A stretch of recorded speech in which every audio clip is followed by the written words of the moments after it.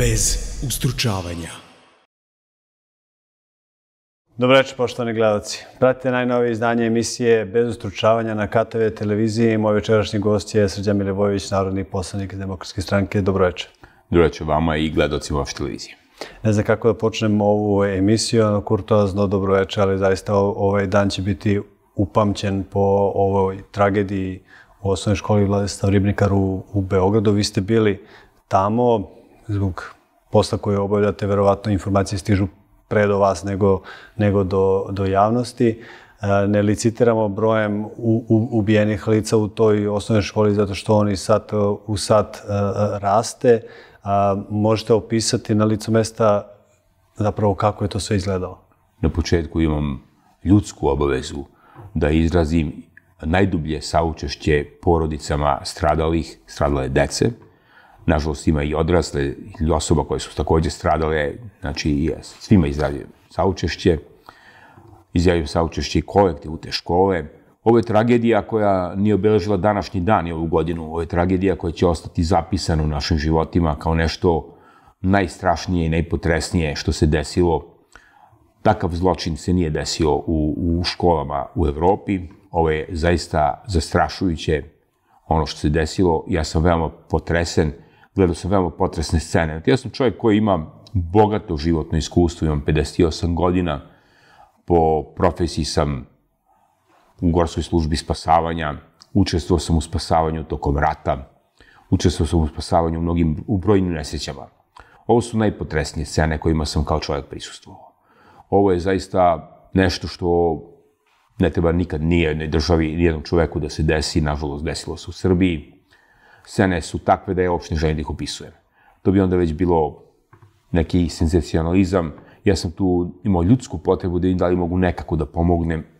Nisam još uvek imao svest o razmerama tragedije, niti informacije o razmerama tragedije koja se desila. Mi još uvek nemamo sve pune informacije o tom događaju, ali tragedija je ogromna. Ovde ne treba, znači, pribegavati bilo kakvom senzacionalizmu. Ne treba niko da pokušava da dobije bilo kakvu političku korist ili benefit iz ovoga, to je neprimereno krajnje ali je važno da ovu tragediju sagledamo sada, u ovom trenutku, sa onih aspekata koji su nesporni. Znači, nesporno je da mi moramo da iskažemo solidarnost sa ljudima koji su izgubili svoje najmilije. Da pokažemo empatiju, saosećanje kao društvo.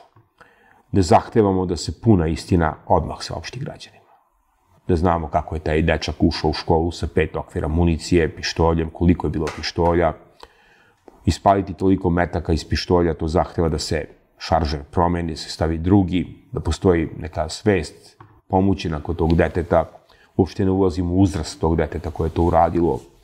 Motive će utvrđivati i sud, sociolozi, neke druge stručne službe, psiholozi, bavit će se psihološkim profilom tog deteta, njegovom eventualnom krivičnom odgovornošću ako ima preko 14 godina. Ako ima ispod 14 godina, on ne podleže krivičnoj odgovornosti, to je vrlo važno da se zna u ovom trenutku, ali kažem to pre svega zahteva jednu dublju analizu i ja bih volao da večerašnji razgovor posvetimo analizi kako smo do ovoga došli. Da, pridružujem se naravno sa učešću porodicama na, nastradalih. Ovo je srpski Kolumbaj, dakle ovo nije, nije, nije se desilo u ovom delu Evrope e, zasigurno na, na ovakva, ovakva masovna stradanja u, školi. Navikli smo da takve informacije stižu sa one strane Atlantika, na srednjem zapadu ili u Amerike ili po američkim školama i oni se nose sa tim kako, kako se nose, da li je bezbednije imati što više oružja ili je bezbednije da niko ne nosi osim službenih lica oružja, ali ono što je, što je zasigurno zajedničko i za jednu i za drugu stranu jeste da mi živimo u takvom svetu gde je nasilje prihvatljiv oblik komunikacije, gde deca nisu zaštićena od nasilja i vršnjačkog, porodičnog nasilja, a, takođe nasilje koje absorbuju preko malih ekrana, preko, preko telefona i mislim da smo, a, mi jesmo i u političkoj i, i u ekonomskoj i u nacionalnoj krizi, ali najveća kriza je kriza morala, odnosno mi imamo krizu a, vrednostnog sistema i to je najteže oporaviti. Ako krenemo redom, nasilje nije produkt nastao samo od sebe. Nasilje je generisano mržnjom. Mi prvo imamo jednu mržnju koja egzistira u našem društvu, imamo jednu kulturu koju su, nažalost, stvarali rat, sankcije, ratne strahote i umesto da posle 99. 2000. godine pređemo jednu normalniju političku situaciju, jedan normalni politički vokabular, mi smo imali jednu kratku pauzu samo u tome. Mi smo jedno 12 godina kada ipak niste imali situaciju da neko političke oponente zove bagrom, ološima, šljamom, a onda od 2012. 13. a pogotovo 14. godine mržnja postaje prisutan vokabular u našem jeziku, postaje prihvatljiva. Kada ljudi, mladi ljudi vide da je nešto dozvoljeno predsedniku vlade, ministru, narodnom poslaniku, predsedniku republike, ako on sme nekome da kaže ološu, onda onaj ko nije na tako visokoj funkciji može mnogo više od toga. Ako je to prihvatljiv vid komunikacije u političkom životu, i ako na to dodate realite programe, da imate nacionalne frekvencije u ovoj zemlji, sa kojih se strašlju, šalju strašne, zastrašujuće poruke. Ako imamo situaciju da je u proteklih godinu dana mlad čovek mogao da vidi sijaset scena nasilja u tim reality programima, ako je nekoliko stotina hiljada ljudi potpisalo peticiju tražići da se to zabrani, mi ne možemo kazati ne, mi nemamo očuvan javni moral. Postoje neki očigledno čuvari javnog morala koji prepoznaju opasnost. Ako su neka dvojica, trojica učenika, nekoj nastavnici, raznom starešini ili profesoru u srednjoj školi izmakli stolicu i sve to snimali smejući se, iako je deo društva reagovao, karikirajući sve to, podsmevajući se učiteljici, a ne osuđujući nasilje, ako su tražili reći opravdanja za učenike koji su svog raznog starešina ili profesora izložili nasilju, ako imamo situaciju da je u domu za nezbrinutu decu dvojica, dvoje 15-godišnjaka, dvojica 15-godišnjaka silovalo dete koje ima probleme u razvoju, izvinite, mi kao društvo ne odgovaramo potrebama trenutka, mi ne prepoznajemo opasnost koja se nad nas nadbila.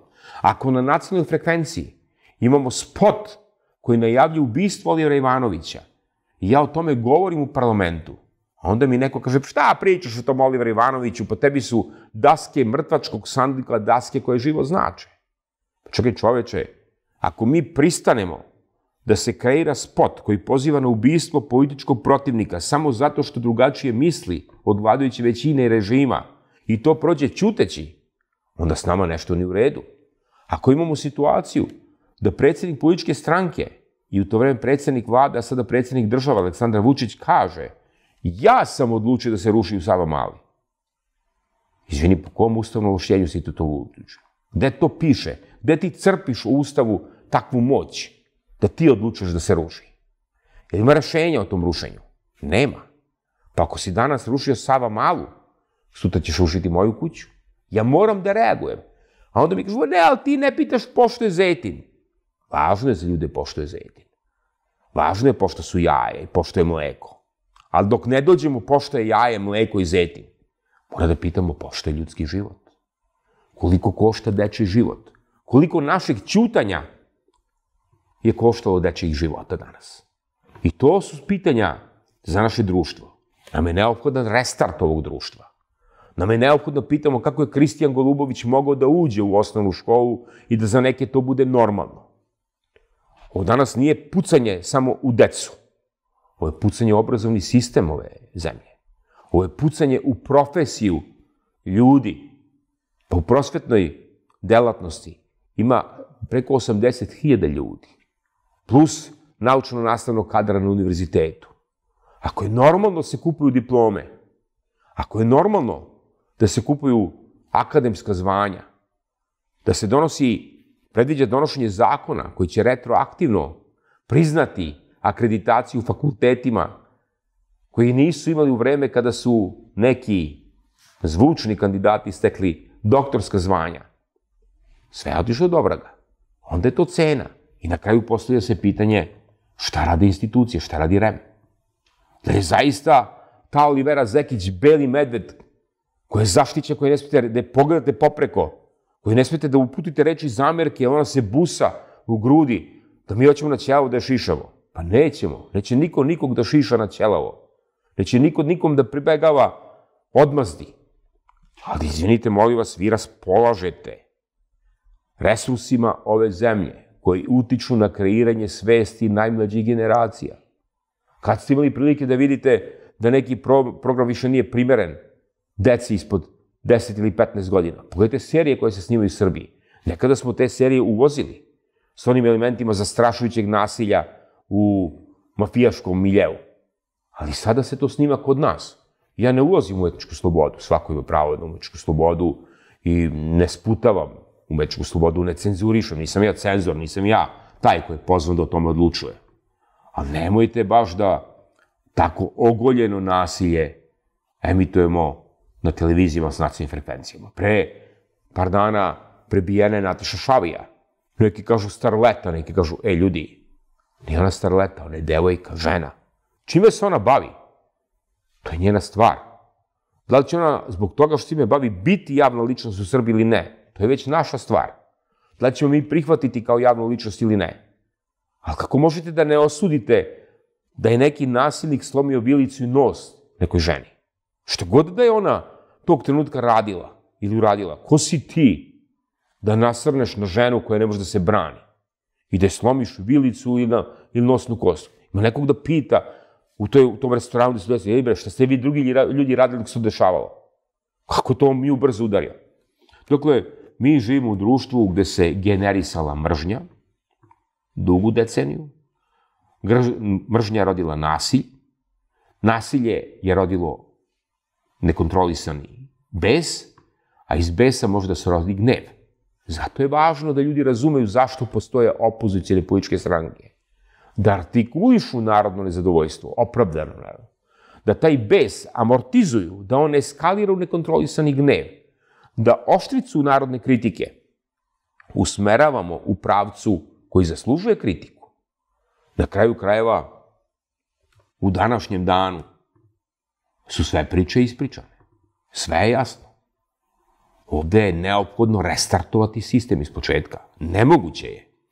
Nemoguće je sa ovakvom količinom mržnje u političkom spektru koji generiše režim očekivati da se ona jednog trenutka ne prelije na sve pore našeg društva. Ja sam pre samo 15 dana, možda i manje od 15 dana, gostovao kod gospođe Danice Vučinić u emisiji za vesti na N1 televiziji. I kazao sam, prepunjeno je bure baruta. I svi se igraju šibicama oko tog bureta baruta. Desit će se neki izolovan incident koji će imati zastrašujuće efekte na naše društvo. I desilo se ovo danas što se desilo. I ako ovde ne podvučemo crtu i ne pokažemo spremnost da reagujemo kao društvo, onda prihvatamo da nam se ovakve stvari dešavaju i čuteći. Ja moram da podvučem samo da e, ne sme se politički lešinariti na, na ovom događaju, to je pod jedan. To ste i vi podvukli. Pod dva, eto, slučajno imam aplikaciju Blica, mada ga i, i, i ne čitam, ovaj, promenio sam telefon. A, notifikacije koje šalju na, šalje taj portal su jezive. Dakle, to je, to su nesreće, to su, to su tragedije, to, znači to i medijsko lešinarenje na, na, na, na nečijom tragedijom, to više nije izveštavanje, to je bukvalno lešinarenje.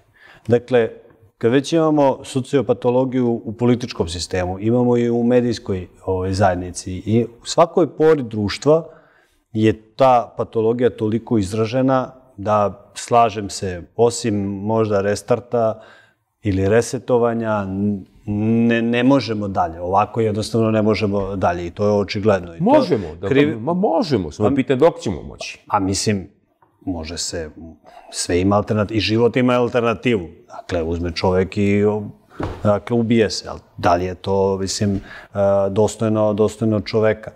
A, dakle, kada vidimo, drago mi je da ste pomenuli i, i, Šaviju, ali ja moram da taj fenomen posmatram i sa jedne druge e, strane. Naravno da, da nasilje na ženom svi, svi osuđujemo i to je ne, ne, nešto što iz, izaziva e, zgražavanje, Ali kada se vidi naša jedna popularna kultura koja se nudi mladima, ja eto, prestao sam da slušam muziku, odnosno neke nove grupe još iz 90. neke ovaj, godine, ali povremeno pogledam, kada se vide, kad se vide spotovi koje, koje deca gledaju, E, koji je to soft porn, koji je to, uh, koja je to promocija narkotika, droge, Svi ti reperi se predstavljaju kao narkodileri, kao uh, pimpovi, kao nešto neverovatno. Dakle, to su spotovi gde se promovišu, ne znam, skupa kola, prečice do bogatstva, uh, droga, nasilje i tako dalje. Dakle, to je to je milje u kome odrastaju nove, nove generacije i naravno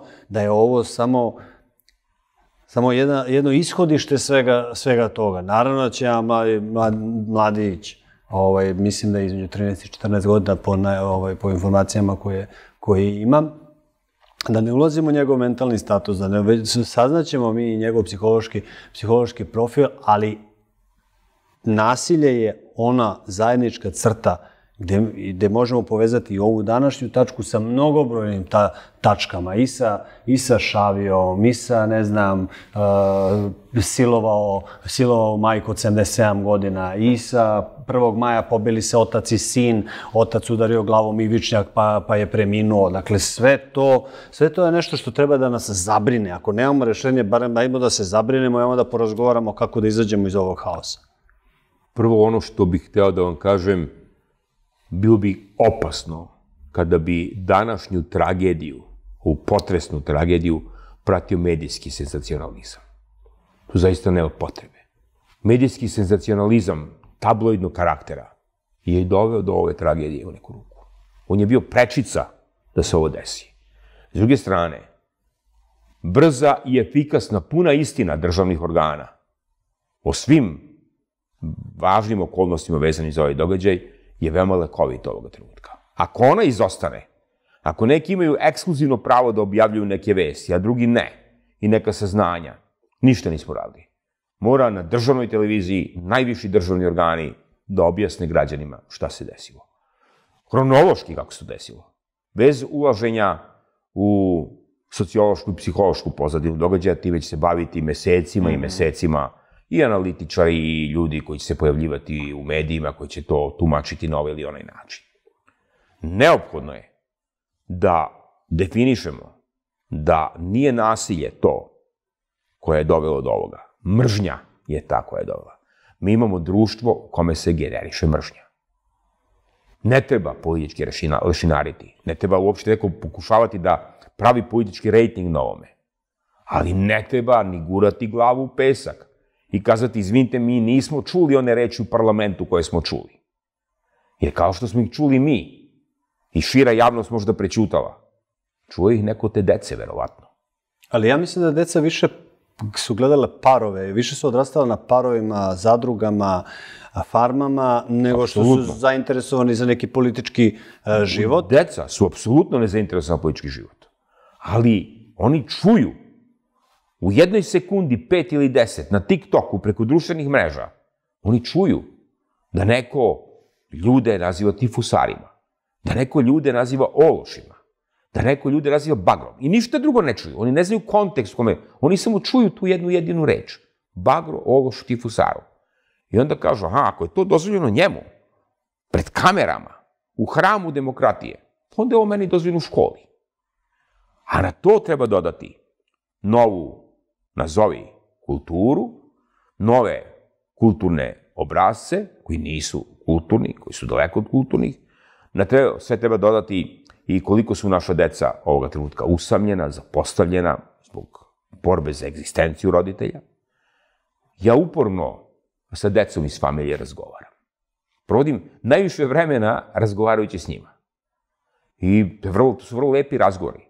Ja čujem zastrašujuće stvari šta su uzori nekoj deci i vidim zbog čega neka deca bivaju izopštena ili izolovana ili se okreću nekim malim socijalnim grupama gde imate dece koja ne psuju, ne koriste cigarete, ne koriste ružne reči, idu u bioskope u pozorišta, ali vi ne možete tu decu ostaviti pod stakleno zlo.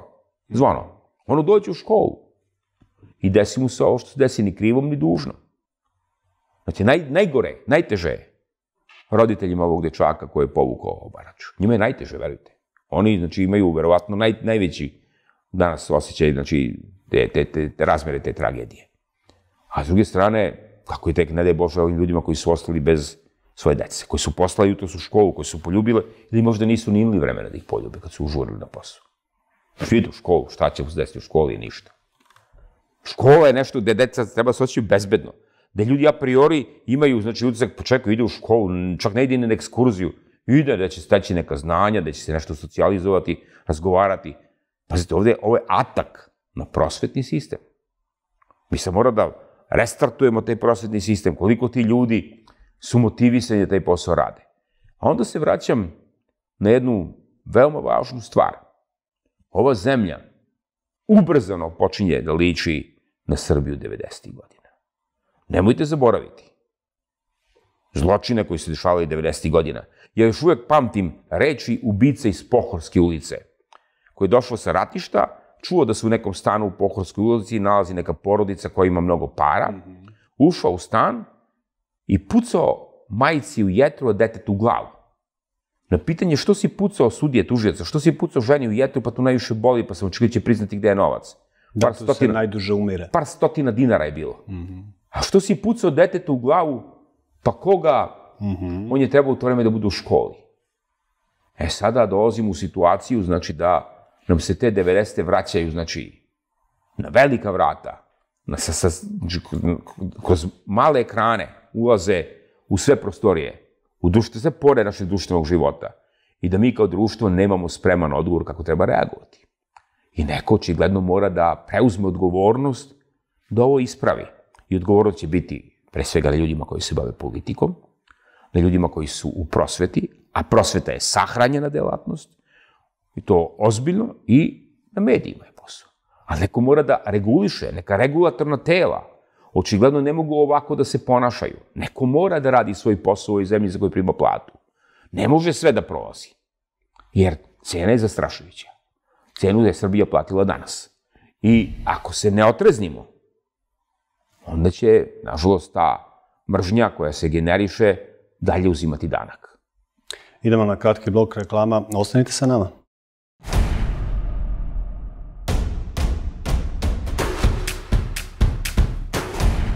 bez ustručavanja. Ponovo smo u studiju KTV televizije, emisija Bez ustručavanja. Srđan Milivojević, narodni poslanik iz Demokratske stranke, je moj večerašnji gost. Da li je korak ka pomirenju i iskorak iz vrtloga mržnje upravo ova deklaracija koja je potpisana u, u Briselu, a ona se odnosi na nestala lica. Mislim, svako ko je ko, ko ima barem nekog ko, ko, ko mu je nestao, tu se ne prebrojavaju krvna zrnca, prebrojavaju se samo suze koliko ti ljudi pate za tim, za tim uh, licima. Uh, naravno, uvodim temu briselski pregovor i implementacija briselskog, ohridskog ili Macron-Šolcovog uh, plana. Uh, šta se to juče uh, desilo? Šta je epilog sastanka Vučića i Kortija? Nažalost, ništa nije bilo tog sastanka. Aleksandar Vučić je davno izašao iz svojih ustavnih ovlašćenja, iz ustavnog okvira onoga što može da radi kao predsednik države, šta može da radi kao predsednik stranke. On nema nikakav mandat da vodi ovakve pregovore sa Albinom Kurtijem. Ja pozdravljam svaki napor da se reši sudbina ljudi koji su ne nestali, nego su ubijeni, a grobim se ne zna. Niko nije nestao pre 23-4 godine i da je nesto da sedi negde, da je ne. Ne, on je ubijen, samo mu se ne zna sudbine i gde mu je grob. To je, znači, pravi naziv za tu sudbinu tih ljudi. A da je nek nestao, znači, pa nije nestao. Ja, nažalost, imam u svom neposrednom okruženju susrete sa sudbinama tih ljudi. Moj prijatelj je nestao na ratištu u Hrvatskoj. Ni dan danas ne znamo njegovu sudbinu. Ne zna njegova majka, njegova porodica, Znači, žive sa tim, znači, bolom, neprebolom, onako kako žive. Nekoliko ljudi koje poznajem imenom i prezimenom Srba i Albanaca su nestali na Kosovu i Metohiji u ratnim zbivanjima ili predratnim zbivanjima. Njihova sudbina je takođe tragična i tužna, ne znamo što se s tim ljudima desilo. I pozdravljam svaki korak i svaki napor k rešavanju sudbine tih ljudi. Ali to je samo jedan u nizu napora koji smo pokušali, kojim smo pokušali da rešimo to zlo vreme. Samo da vas podsjetim kakva se fama digla kad je prva hladnjača isplivala. Kada je prva grobnica iz Batajnice otkrivena. Pa znate ko je bio tada na vlasti u Srbiji kad se to dešavalo? Pa isti ovaj koji sada potpisuje dogovor sa Kurtijem, Aleksandar Vučić. Tada je bio ministar informisanja i bio je član vlade koja je to sprovela u delo. To delo je malo i licemerno da se on time sada bavi na takav način i da sebi pridobija neke političke poene pokušavajući da reši sudbinu nestalih. To je mogo da radi 99. godine odmah. A moglo je i bez toga. Moglo je da nikada ne saznamo za tu strašnu reč sudbina nestalih lica na prostoru bivše Jugoslavije. Moglo je to da se postigne na mnogo bolji, civilizovani i mirniji način. Da je bilo više političke volje i pameti. I da nije bilo mržnje koja je generisala nasilje i ratove. Ono što je za mene važno, Aleksandar Vučić pokušava da, vodeći tu kosovsku politiku koju vodi, sebe prikaže kao čoveka koji nikada neće priznati da je priznao Kosovo. A učinio je sve što je u njegovoj moći da prizna Kosovo i Metohiju kao nezavisnu državu, kao državu Kosova. Za njega je danas neprijatan dan. Danas je New York Times objavio tekst o njegovoj povezanosti sa klanom Veljka Belivuka. Nije to ništa novo i spektakularno za građani Srbije. Ja sam o tome govorio sijaset puta u vašoj emisiji zajedno s vama. Govorio sam u parlamentu o tome. To nisu nikakve nove vesti. Ali za koga su te vesti nove? Nove su za neki ljude koji žive na zapadu, neki ljude koji se tamo bave politikom, koji čitaju New York Times. Nemoj da mislite da bezbednostne službe sveta ne znaju za Sky aplikaciju i ko je sve koristio Sky aplikaciju, šta se sve nalazi u 1882 slušana razgovora sa 26 bezbednostno interesantnih osoba. Naravno da znaju. I znaju ti ljudi iz sveta kad kažu podržavamo Aleksandra Vučića, znaju oni koga podržavaju. Ali ljudi u tim državama koji žive, građani tih zemalja, ne znaju. E sad je drugačija stvar. Sada imate neke izbore u tim zemljama, u tim državama, i onda oni kažu, čekajte, vi ste političar koji vodi moju zemlju i vi podržavate ovo. Ovu klanicu iz Ritopeka, vi to podržavate. Ostani malo, pa ti onda ne zavređuješ moje poverenje. E, ja sam tu govorio u vašoj emisiji. Neće vesti o povezanosti Aleksandra Vučića sa organizovanim kriminalom uzdrmati Aleksandra Vučića u Srbiji i neće ih objaviti ni jedan medij iz Srbije u takvom obimu i sa takvim, takvom snagom i takvom značajem. Ja sam mislio to raditi neko iz regiona, tipa ovo sam u Bosni i Hercegovini ili Hrvatskoj.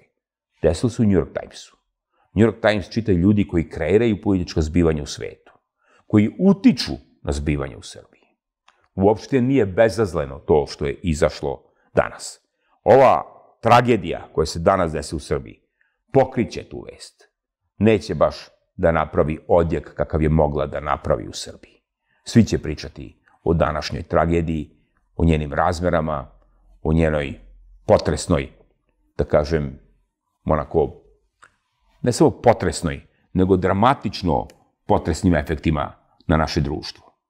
Ne samo na porodice koje su ostale bez najmilijih. To će se reflektovati i na ljude koji imaju školsku decu da promene malo način razmišljanja. Ali ova vest neće proći nezabeležena u svetu. Pa i ovo je vest danas. Mi smo danas glavna vest u svetu. Dve najnegativnije vesti stižu iz Srbije danas. Prva je zločin u osnovnoj, u osnovnoj školi. Pazite, u Americi, kad govorimo o Americi, imate na koleđu, imate među starijom populacijom mladih ljudi. Ali ovo su deca koja još uvijek nisu krivično pravno odgovorna. Do 14 godina. To je strašno, pazite, on još uvijek nema krivičnu odgovornost. Nama je iz Evropske unije kroz jedan od klastera stigla preporuka da krivičnu odgovornost za maloletnike spustimo na 12 godina. Ne bi to ništa promenilo u ovoj situaciji današnjoj. Ali se vraćam na ovo vaše pitanje.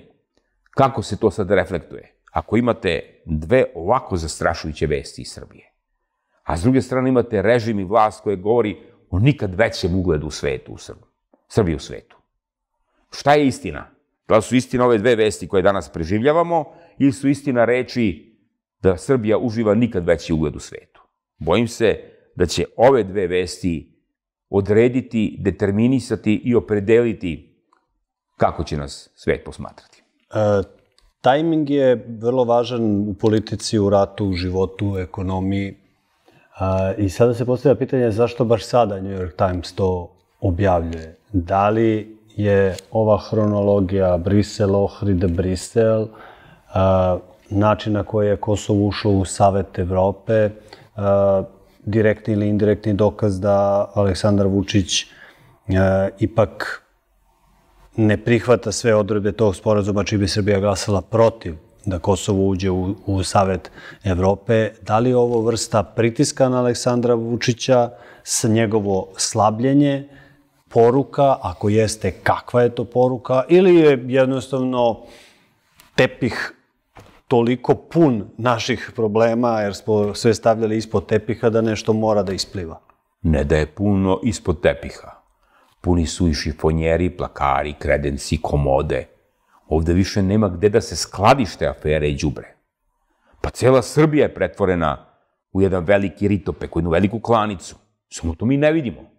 Ovde se ljudi melju svakodnevno, ljudske sudbine. Ovde imate samo danas finale onoga što se dešavalo u Žagubici i Babušnici. Danas imamo samo, prisustujemo finalu toga. Znači, ovde smo imali putokaze koji su jasno govorili gde idemo. I to je Žagubica, i to je Brus, i to je Jutka, i to su Lučani. Mi smo postavljali putokaze gde ovo društvo ide. Ako je Milovan Milivojević izašao ispred suda u Ivanjici da traži pravdu za svog stradalog sina, i ako je tamo direktor fabrike doveo 800 radnika, između ostalog i njegove školske drugove, prijatelj s kojim je odrastao, koji su mu dolazili na slavu i na veselja, da mu viču ua, milovane lopove, ubijaš fabriku. A on kaže, au, sve čovjek do čoveka, sve karakter do karaktera. On je jasno kazao gde ide ovo društvo. Kako mi nismo razumeli taj njegov apel? Kako nismo razumeli da neki Safet Pavlović, predsednik opštine Žagubica, koji je poznat po tome što ima kriminogenu prošlost i što je po rečima nekih narodnih poslanika imao ilegalnu aktivnost koja se bavila prostitucijom. Kako je moguće da taj čovjek bude predsednik opštine? A kako je tek moguće da bude izabran s tolikim brojem glasova? A očigledno je moguće. Kako je moguće da obezbeđenje Skupštine opštine bije onog nesretnog deska koji pokušava da kaže ljudi ne možete na ovoj reci da pravite malu hidroelektranu i da tu rek, reku zatvarate u cev, jer ta reka je život za nas. I onda sve to prođe ćuteći, sve to može. E, šta, šta ste vi radili? Pa nije tu pitanje šta smo mi radili. Pitanje je šta vi radite. Jer vi ste vlast 11 godina. Režim neki ovde vuče sve konce drži sve konce, sve, imaju sve instrumente vlasti u svojim rukama, i policiju, i tužilaštvo za koje tvrde da je nezavisno, i specijalni sud, i kasacioni sud, sve mehanizme. Pa bilo koga od nas ako smo nešto uradili, shapsite nas, ali nikoga ne osudiste. I Olivera Dulića ste pre neki dan morali da proglasite nevinim. Na pravdi Boga ste ga očigledno gonili. To je neki vaš reformisani sud i tužilaštvo uradilo. Ali dajte da vidimo šta je sa ovim događajima, kako smo došli do ovde, gde je bila prečica za zlo, gde je bila prečica do našeg ada. Očigledno je postavljena, uredno, trasirana. I da su neki ljudi apelovali, promukli su apelujući ljudi, ovo ne valja. Ovo vodi, vodi u pakao. Kako je moguće da kriminalni klanovi gazduju gradom Beogradom više od četiri godine? Da ja u vašoj emisiji dođem i kažem čekajte, povde se, kod vas sam pričao, da se ovde razmenjuju telefonski snimci najmonstruoznijih zločina, uključujući odsecanja glave. I da me specijalni tužila za organizovani kriminal ne pozove, kaže, ej, dođite go vamo, gospodine, što vi to znate. Evo, ja sam izneo dokaze o teškim zloupotrebama prilikom nabavke uglja ispred specijalnog suda za organizovani kriminal. Tražio prijem kod tužioca, rekao, molim vas, ja se odričem poslaničkog imuniteta. Ja kažem da je ovo istinito. Ja sam spreman da svedočim pred svim pravosudnim, istražnim organima, pred policijom, pred kime god hoćete, da su dokumenta kojima maše o zloupotrebama u nabavci uglja, autentični dokumenti, koji su mi dali časni ljudi iz policije tužilaštva Jepsa, I želimo da rasvetlimo to kao društvo. Ja hoću da se utvrdi kako je moguće da Darko Šarić iz pritvora specijalnog suda koristi pet telefona i dva satelitska telefona. I ne da ministarka pravde gleda u pod kad dođe u Skupštinu Srbije, ja je to pitam, a ona se pravi da ništa nisam pitao. I meni mesto nje odgovara Milenko Jovanov. Kao vi ste ti fusari? Čekaj čoveče, ako hoćeš da mu uvrediš time što mi kažeš da sam ti fusar, pa ja nisam time uvređen. Ako je za tebe ti fusar nešto pežorativno, loše, pa samo da kažem gospodinu Jovanovu, ja sam, kao i većina građana Srbije, potomak tifusara iz Velikog rata. Pa svaki treći vojnik u Velikom ratu je preživao, koji je preživao, imao je tifus. Svaki treći vojnik. Od tifusa je umrlo, verovali ili ne, 500.000 ljudi u Velikom ratu. A ti su ljudi, goli grudi stali pred austro-ugarske strojeve, pred mitraljeze bajonete, pred kame i rekli ne damo vam Srbiju, branit ćemo. Razgraničit ćemo se na Ceru i Kolubari. Ne mora Vučić da me razgraničava, ni u Briselu, ni u Beču. Ja sam se davno razgraničio. Moj deda se razgraničio sa Bugarima na Kajmakčalanu, sa Austro-Ugarima na Ceru. Sad ćemo mi Srbiju ponovo da razgraničavamo. Ko si ti čoveče da time se baviš? To su važne stvari koje su se prećutale. I to ako mislite da može da se gura pod tepih, da se trpa u komode, ladice, fioke, pa zaudara taj leš. Dobro, ali vi to govorite za domaću upotrebu. Ovo sada što se desilo u New York Timesu, ja opet vraćam se na svoje pitanje, zašto baš, baš sada? Da, pro, da malo proanaliziramo tajming, odnosno u kakvoj je Vučić poziciji 2023. godine, 11 godina posle dolaska na, na, na vlast, sa kamenom oko vrata, Kosovom, sa ukrajinskom krizom nad, nad glavom i sa ovim kosturima iz Ormana koje polako izlaze na, na, na videlo. Pa vidite, njemu je klan Veljka Belivuka i povezano sa organizovanim kriminalom. Bio neki kamenčić u cipeli koji ga je malo negde žuljao kad neko pita, ja, ja, taj kriminal tamo, on kaže, e, nemoj ništa da me pitate za ta ljudska i manjinska prava, medijske slobode, za taj kriminal, korupciju, za način na koji se vode izbori. Ja ću da vam isporučim Kosovo. I to onda kao, eto, ok, a kad završimo Kosovo, dajte mi još na 4, 5, 6 godina da završi Republiku Srpsku i onda ćemo videti gde smo. Međutim, taj mali kamenčić u cipeli je postao vodenični žrvanj koji preti da ga samelje u moru tih afera u koje je umešan. To mu postoje kamen oko vrata koji ga vuče na dno njegove političke kaljuge u koje je pretvorio političku scenu Srbije. I ako me pitate zašto sada, Pa nije li on tvrdio da vodi 5-0 protiv Kurtija? I da, eto, razbismo bre ono Kurtija, ne znam gde je. Pa od 5-0... To je rezultat po kome će Marko Đurić biti upamćen. Jel? I on je tvrdio u parlamentu spred mene u Skupštini, rekao, aha, aplauz, on uđe, on je aplauz, 15 minuta traje aplauz na prednjaka. Pa se trude ko će lepše da aplaudira. To su bili stilovi aplauza, bilo, mi smo zvali to Kondorov let, pa ne znam, brzi aplauz, pa pozorišni aplauz. Čekaj bre, čoveče, predozirao si se vlašću ne valja ti posao. To što ti radiš nije u redu. Očigledno da sve to tako baš ne meri. Da se tih 5-0 pomerilo u minus 15 za nas, a 15 za Kurtija. Nešto tu nije u redu. I ako me sad pitate zašto tako, očigledno da su ga prevarili za zajednicu srpskih opština. Pa zato on sada, koliko ima godina od briselskog sporazuma? 10. Evo, navršila se deseta godišnjica od Briselskog sporazuma, gde mu je obećana zajednica srpskih opština, on izlazi, sad ću ja da dobije zajednicu srpskih opština. Čovječe, to si potpisao pre deset godina. To je trebalo pre deset godina da dobiješ. Kako je moguće da se jedan posustali radikal sada budi kao pobuđeni naprednjak i onda umesto velike Srbije kod Karlobaga, Ogulina, Karlovca i Virovitice zadovoljava se zajednicom srpskih opština koje obuhvata Leposavić, Lešak, Zubin Potok, Kosovsku Mitrovicu. Stani malo, pa mi smo tu imali zajednicu opština, samo se zvala Kosovsko-Metohijski upravni okrug. To je Srbija imala 99. godine. Kakav je to dobitak za nas? Imali smo i Pećki prizrenski okrug, upravni. Čekaj malo, pa Gnjilan je bila načelnik okruga, Priština je bila načelnik okruga, uh, sedište okruga. Nemojte da nam nudite rok za sveću. Pa nismo baš toliko politički naivni. I ako me pitate zašto sada, očigledno vidite da u tim opštinama međunarodna zajednica je postavila gradonačelnike Albance. Na nelegalnim izborima, nelegalnim izborima. Jesu ga prevali, prevarili su ga. Jel imaju oni legitimitet? Nemaju. Ali su oni sada ušli tamo uvedeni, što bi se reklo u posed, zapisani kao gradonačelnici. I sada treba da imamo zajednicu srpskih opština, gde su gradonačelnici Albanci. A Vučić je rekao, ja neću da pravim prepreku za članstvo Kosova u međunarodnim organizacijama. Iako smo mi u parlamentu kazali, ajde da se dogovorimo, ne gde su crvene linije, nego gde su bre linije preko kojih nećemo, gde su linije naših državnih i nacionalnih interesa. Da li to znači da si protivnik Kosova u Ujedinjenim nacijama, u Evropskoj uniji sutradan? Da li si protivnik Kosova u Savetu Evrope? Nije rekao. I evo ga, Kosovo u Savetu Evrope.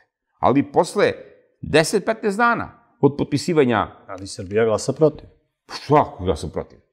Glasa protiv, pa zna se će ono ući sa glasom protiv, sa glasom za. Pa dobro, to ne možemo da kontrolišemo, zato što tamo nemamo većinu. Mislim da je to prvi put da jedna država, država, nazovi država, uđe na takav način u Savet Evrope preglasavanjem. Naravno, ali je ušla. Pa preglasavanjem ušla. Dobro. Preglasavanjem će ući u jedni... Moralni čin sa srpske strane, a i sa strane naših prijatelja je bilo da dignemo ruku kada je pitano ko je protiv. Ne moralni čin. Moralni čin je bio da predsednik Srpske napredne stranke Aleksandar Vučić kaže neću da potpišem brislavski sporazum ako će to rezultirati ovim. To je bio moralni čin. A ne, mi potpisamo sporazum kojim znamo... A nismo potpisali. Pa da, on nije potpisao, to ste u pravu. Ništa nije on potpisao. Ali što je onda novinar Dejan Petar Zlatanović bio u zatvoru zbog rečenice ko potpiše njega ubiše? Ako niko ništa nije potpisao, što bre onog nesrećnog čovjeka držaše dva meseca u zatvoru? Gde je tu pretnja? Što se onda on osjeća prozvanim da kaže, aha, on mi preti? Pa čekaj, ako ništa nije potpisano, što ste bre onu dvojicu ljudi držali u zatvoru? Po kom osnovu? Pa da neko treba da pita ako ništa nije potpisao, a samo da vas podsjetim da je Velika Srbija 2008. godine objavila veoma zloslutan tekst. Ko prodade Radovana, njega ubiše do Vidovdana. U časopisu Velika Srbija, gde je u uređivačkom odboru i izdavačkom savetu potpisan Aleksandar Vučić. Zašto ovoj zemlji važe jedni zakoni kad je Vučić u opoziciji, a drugi kad je na vlasti? Kako je to moguće? Sada da se vratim na ovo konkretno pitanje oko Kosova i Metohije. Ja lično mislim da je ovaj tekst u New York Timesu samo početak, da će biti serijal tekstova, da mi još uvek ne znamo šta strane obaveštene službe imaju o Sky aplikaciji u svom posedu, jer nemojte zaboraviti, nije Veljko Belivuk uhapšen voljom režima Aleksandra Vučića, niti Darko Šarić, Darku Šariću su ukinuli pritvor. Dali su mu najbolje advokate da ga brane. A onda je iz Francuske, od njene obaveštene službe, stigao dopis u kome se vidi da iz specijalnog suda za organizovani kriminal preko pet mobilnih telefona i dva satelitska telefona Darko Šarić naručuje ubistva svojih nelojalnih saradnika. Veljka Belivuka su uhapsili po dolasku iz Crne Gore. Pa im je onda stigla prepiska Sky aplikacije, pa su ih tek posle dve neljene jedvite jade uhapsili i stavili u pritvor.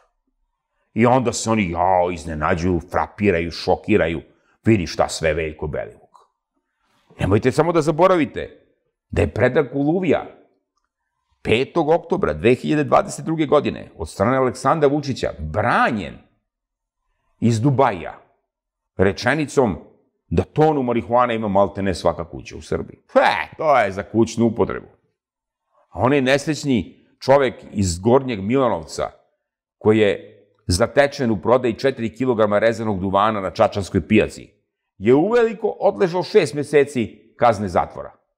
Kao da i onaj Milovanović Tocilo iz Amerića, kod Mladenovca, koji je uhapšen istog dana, kada je Kuluvija, zbog šverca narkotika i proglašen kumom Boško Obradovića, iako nema nikakve veze s Boškom Obradovićem, da bi taj slučaj dobio neku političku konotaciju, političku težinu, osuđen na 17 godina zatvora zbog šverca valjda 50 kila heroina i 3 kila kokaina. A on Kuluvi je nađeno blizu tone marihuane, pa sad pokušava da se da marihuana izopšti iz sudskih spisa kao dokazni materijal. Pa nemoj da mislite da neko to iz sveta ne vidi. I sad se postavlja pitanje, zašta je bio namenjen novac sa Jovanjice? Znate, na što će liči Srbija kad se to tek bude saznalo? Kako se taj novac arčio? I kako se taj novac koristio? Jer to je bio državni projekat. Državna bezbednost je obezbeđivala Jovanjicu, odnosno pripadnici bezbednostno informativne agencije, ili precizan. Pripadnici uprave kriminalističke policije. Čak je bio i jedan pripadnik vojno-obaveštene službe, koji je sada u bekstvu u Americi, nedostupan pravosudnim organima Srbije. Nalazi se na crvenoj Interpolovoj poternici, ali da Sjedine američke države ne isporučuju Srbiji. Reći je Saši Vujsiću. Kako je moguće da se neko nalazi na crvenoj Interpolovoj poternici? Da naši najviši predstavnici odlaze nekoliko puta u Ameriku? Što ne kažu Amerikancima, ej bre, dajte bre, uhapsite ga, ga vratimo u Srbiju. A dobio odgovor, pa ne, on je pod zaštitom Ministarstva pravde Sjedinjih američkih država. Kako? Šta on zna o tom slučaju sve? Šta zna načelnik te njegove službe? Šta zna načelnik makedonske službe? Pa zamislite to kad krene da isplivala. Pa to neće znati gde ga udaraju, s koje strane ga biju. Pa imaće da spakuje kofere brže nego što se raspremio kad je seo u Andriće verac.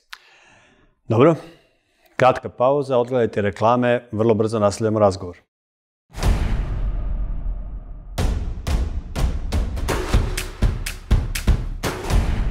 Bez ustručavanja. Ponovo smo u studiju Katove televizije, emisije Bez ustručavanja, Srđan Milivojević, moj večerašnji gost, narodni poslanik iz Demokratske stranke. Bili ste u Žagubici. E,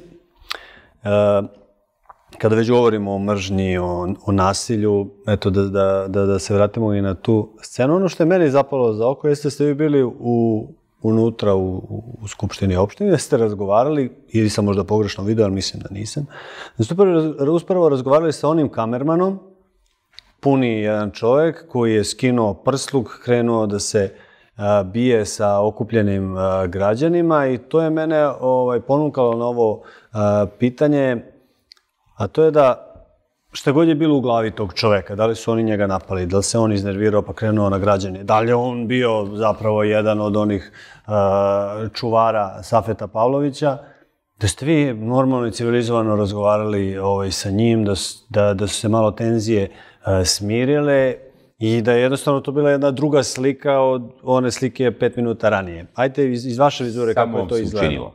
Samo mi se učinilo. Znači, čovek koji je držao kameru, i sebe predstavljao medijskim radnikom, kako je kazao, i novinarom na zadatku. Uopšte nije ni medijski radnik, ni novinar na zadatku, ni kamerman. Reč je o čoveku koji je zaposlen kod Safeta Pavlovića, mm -hmm. koji je pripadnik njegovog ličnog privatnog obezbeđenja. On zaista radi na nekoj lokalnoj televiziji kao kamerman, ali radi kao obezbeđenje Safeta Pavlovića. U trenutku kada sam ušao u prostorije zgrade Skupštine opštine Žagubica, i uzeo telefon da snimam zastrašujuće pretnje koje su pripadnici obezbeđenja upućivali Radmili Vasić, kada sam uzeo kameru mobilnog telefona da snimim Safeta Pavlovića, kako tri puta udara Aleksandra Jovanovića Ćutu, narodnog poslanika. Znači, tri puta ga udara. Tri puta. Pritrčao je taj nazovi kamerman i oteo mi mobilni telefon iz ruke. Na što sam mu je rekao, vidi momče, sad ćeš da mi vratiš istog sekunda telefon, da ti ne bi, znači, slomio ruku. Jer ko si ti da uzmeš narodnom poslaniku telefon iz ruke? Ti si oteo moje privatno vlasništvo. Ne možeš da snimaš u opštini. Ko to kaže da ja ne mogu da snimam u opštini? Ovo je javni događaj. On je jednog trenutka vrlo poslušno vratio taj telefon, ali uh, u tom, znači, rvanju, taj telefon se zaključao. I onda je meni trebalo neko vreme da ja otključam telefon i nakon toga on je meni rekao, ja sam novinar, ja imam novinarsku legitimaciju. Ja kažem, kog društva si? Daj mi pokaži novinarsku legitimaciju, da li si član NUNS-a ili UNS-a? Da li si član nekog udruženja novinara? Ne, on prvi put čuje da postoje NUNS i UNS. On tu i dalje nastupa sa pozicije jedne bahate, prostačke, primitivne, ogoljene, osione sile. On misli da je to ona žagubica, da je to onaj krepoljin, gde mogu da tuku onog čoveka do, nesvesti, do besvesti u, u onoj kladionici i on ne može da veruje da ima ljudi koji se njega ne plaše. On ne može da veruje da ima ljudi koji se ne plaše Safeta Pavlovića i onog njegovog obezbeđenja, onih hrmpalija i da su spremni da uzvrate udarce njima. On ne može to da veruje. I onda on meni, znači, vrlo uh, drsko odgovara, znači, to onako, uh, vraćajući mi telefon, i evo ti telefon i čak i psuje upućen iz psovki. Ali o, to na kameri izgleda kao da mi ni komuniciramo tu, mm -hmm. što nije ni prijatna komunikacija, niti je to komunikacija. To je znači, jedna prava slika žagubice u pravom sliku, znači to je, to je u, u, u reči i slici. Znači, to što smo mi doživjeli tamo u toj prostoriji. Ja se divim hrabrosti Radmile Vasić i Danijela Nestorović, narodnih poslanica, koji su ušli unutra. Uh, Radmilu Vasiću zatvorili jedno desetak minuta nas policija uniformisana nije puštala. Na, razlog zašto je meni vraćen telefon nije bilo to što sam ja njemu kazao, vidi, vratno slomit ću ti ruku ako vraćaš telefon. Odmah. Da vraćaš, pošto ti ukrao telefon. Nego su bila trojica policajca u uniformu. Jeste kao, gospod, ukrao mi je telefon. I sad oni ništa mu ne kaže, vrati telefon. Oni ćute kao zaliveni. Trojica uniformisanih policajaca gledaju čoveka koji meni otima telefon iz ruke i drži to nešto radi s tim telefonom. I on kaže, vrati telefon, bre, ti si ukrao telefon. Čovječe, šta radiš to? I tog trenutka mi tek vraćaju telefon, znači on mi vraća telefon, ali ti policajci nijednog trenutka ne reaguju. Meni je šokantno bilo da se policajci jednom od tih batinaša obraćaju sa jao, pa nemojte vi, e sad čekajte, ima kamera. Šta ako ima kamera? Pa znaš, probajte nekako da to rešite van kamere. Šta to znači da rešimo van kamere? Da vodimo Ćutu tamo u neku kancelariju, da ga tamo biju njih desetorica, da kamera to ne snimi. Ne može to, više nije ta žagubica. Mislim da je Safet Pavlović takvim ponašanjem i sebi i Aleksandru Vučiću i Srpskoj naprednoj stranci napravio medveđu uslugu, da sad taj projekat da se tu kao na, da je nađeno neko zlato, da će se praviti rudnik zlata, da će ljudi tu žestoko da brane svoje privatne posede, da neće dozvoliti da im se privatni posodi uzurpiraju. Može država Srbije da donese lex specialis kao za Rio Tinto, kao za Beograd na vodi, da svašta nešto radi, ali ne bih se ja na mestu vlasti igrao sa narodnim nezadovoljstvom. Mislim da je danas čaša prepunjena. Um, ono što je meni zaličilo na, na neki normalni razgovor, tražio sam neku normalnost u toj, u toj nenormalnosti i naravno interes ove televizije, interese novinara, interese javnosti, interese sve tri strane koliko, je, koliko ih je bilo, jeste da sednu u, u ovaj uh, naš studio i da, ispri, da ispričaju i da se verbalno, ne fizički, ovaj, sukobe, odnosno da iznesu svoje stavove i argumente ko je za rudnik, ko nije za rudnik, zbog čega. To nije, nažalost, uspelo. Ja sam ovde najavio da će ove gosti biti Safet Pavlović, Aleksandar Ivanović Ćuta i Pavle Bihali. Ćuta se odazvao, Bihali se odazvao, ali ovaj, ili Bihali se odazvao, Safet Pavlović verovatno nije dobio dozvolu da se pojavi na ovoj televiziji, nadam se da će, nadam se da će dobiti. Ali koliko žagubica ima u, u Srbiji? To je pitanje pravo. To je pravo novinarsko pitanje. Koliko mi u stvari imamo žagubica? Pa ja mislim da je čitava jedna Srbija, naša država, pretvorena u veliku žagubicu. Znači ovde na ulazu, na Horgošu, ne treba piše Srbija. Žagubica. Ili svejedno, Brus, Lučani, Babušnica. Sve to jedna ista slika, samo se drugačije zove. Koliko je Safeta Pavlovića, koliko tih malih obor knezova, šerifa, pećinci. Neki Luki kaže, aha, vi ste deca čiji su roditelji u demokratskoj stranci koji su čuvali kutiju, a pa nećete vi u vrtić da idete. Ja sam jači od države, ja sam Luki. I ovo su ovo pećinci, ovo je Lukijevo. Stani bre malo čovječe, bre, ko si ti da pustiš, da ne pustiš decu da idu u vrtić. I onda mi kaže Aleksandar Vučić, ja ne poznajem tog Lukija iz Pećinaca. A onda posle dva meseca ode kod njega u privatni zoološki vrt kad je bio u poseti Semskoj Mitrovici. Pa čekajte, ljudi, što se rugate baš toliko inteligenciji ljudi u ovoj zemlji? I sad ti mali obor knezovi upravljaju Srbijom. A znate koliko njih? Ja bih volao, kad bi neka, recimo vaša televizija, dajem predlog, kad biste napravili prilog, specijalno, ja ću da sprovedem, ja ću da organizujem da vozim vašu snimateljsku ekipu i da razgovarate sa ljudima da vidite kako se živi u mestima tih obroknezova. Da vidite kako se živi u Pećincima, u Žagubici, da vidite u Babušnici kako se živi, kako se živi u Brusu, kako izgleda u nekom slan kamenu, u Banovcima.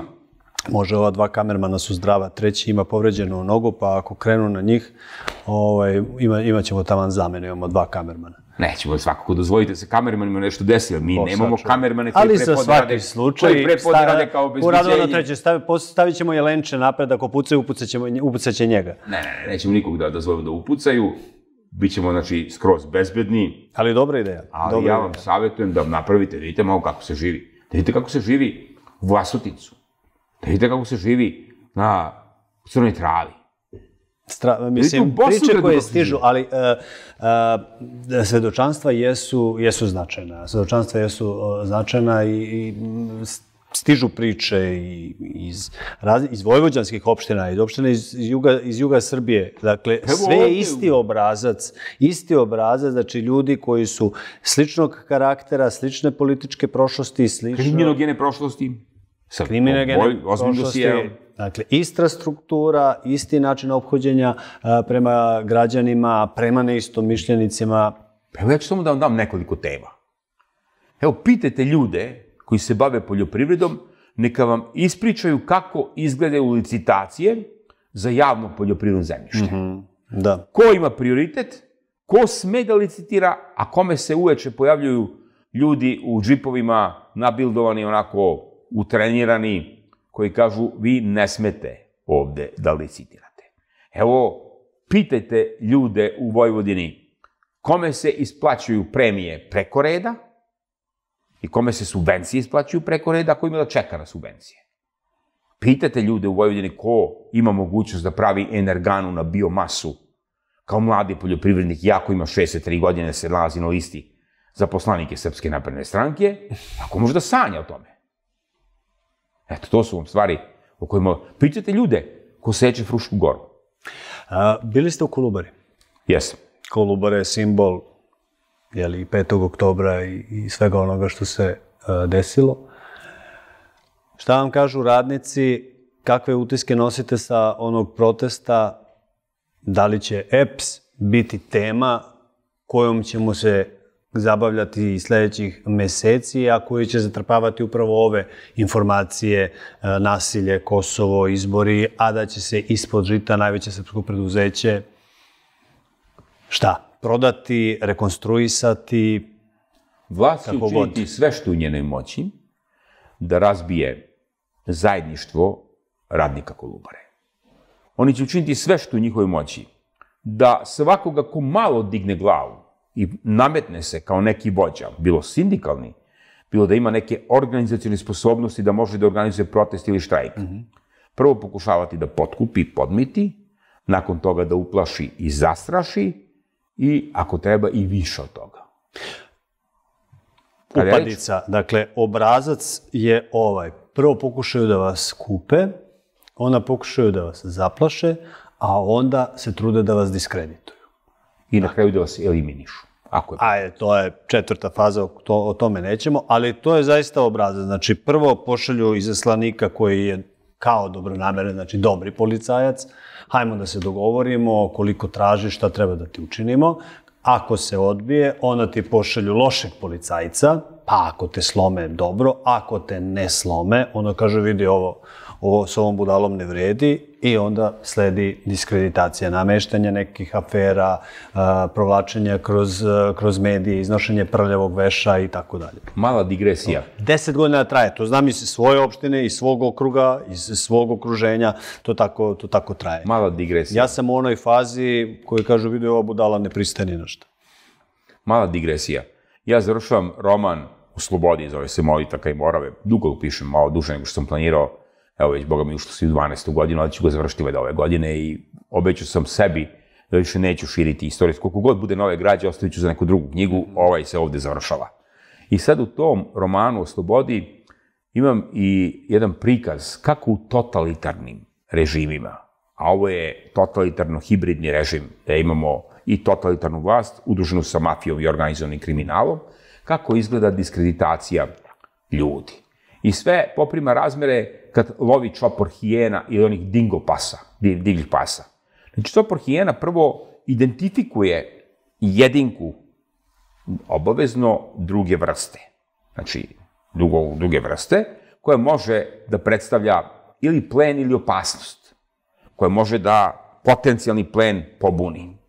Onda se tačno zna ko tu jedinku treba da izoluje od ostatka krda životinja joj pripada, ko treba da je goni, da je juri, ko treba da kidiše na nju, da je grize, ko treba da je podmiti, da kaže, ej, ako se budeš opametio, dobit ćeš najbolju ispašu, dobit ćeš najbolji izvor vode, čuvat ćemo te od krokodila, od drugih predatora, bit ćeš zaštićen, bit ćeš debeo, jak, dovešćemo ti i ženku iz onog tamo čopora ili stada ili krda. Imaćeš potomstvo koje će biti zbrinuto, mi ćemo voditi račun, ali pusti nas da one tamo davimo, koljemo, da se hranimo njima, da ih komadamo, kidamo. Ako to neće, onda se tačno zna ko će još da se od drugih predatora uključi, da njega goni. E sad, u džungli, u pravilnom džungli nema diskreditacije, to nema, znači to nema, ej, rećemo svima da si bangav, da ne, da ti loše noge, da ti loše potomstvo, tamo odmah ide eliminacija. Ovde kod nas još uvek nije do dna spušten taj zakon džungle. Sad da se vratim na Kolubaru. Vlast je identifikovala ko su bili ljudi koji su vodili ovaj protest, koji je izveo 2000 ljudi na ulici Lazarevca. To im se ni malo nije svidelo. Bila je Ana Brnabić da smiri protest, pre toga, da pokuša da ih podmiti. Šta se dešava u Kolubari? Ukratko, tu je priča sledeća. U našem EPS-u se dešava slom tog privrednog sistema, tog energetskog sistema, kompletan slom. I on se ogleda na nekoliko znači, nivoa. Prvo, za direktora Kolubare pre jedno 11 godina imenovan je Milorad Grčić. Čovjek koji je držao pečenjeru. On je, pre nego što je postao direktor Kolubare, samo šest meseci pre toga diplomirao na privatnom fakultetu. Bez da imamo uvid u njegove akademske studije i način na koji ih je stekao, jer taj njegov fakultet, matični na kojem je stekao akademsko zvanje, to je čuo samo dve godine i posto ga je to nestalo. Znači, nemamo uvid u to. Da ste vi vlasnik EPS-a, da li biste čoveka koji je pre šest meseci završio fakultet, pustili da vam upravlja tim sistemom? Ma ni u ludilu. Da je Vučić vlasnik EPS-a, to je njegova privatna firma. Pa znate kad bi Mića Grčić mogao da bude direktor Kolubare? Nikada.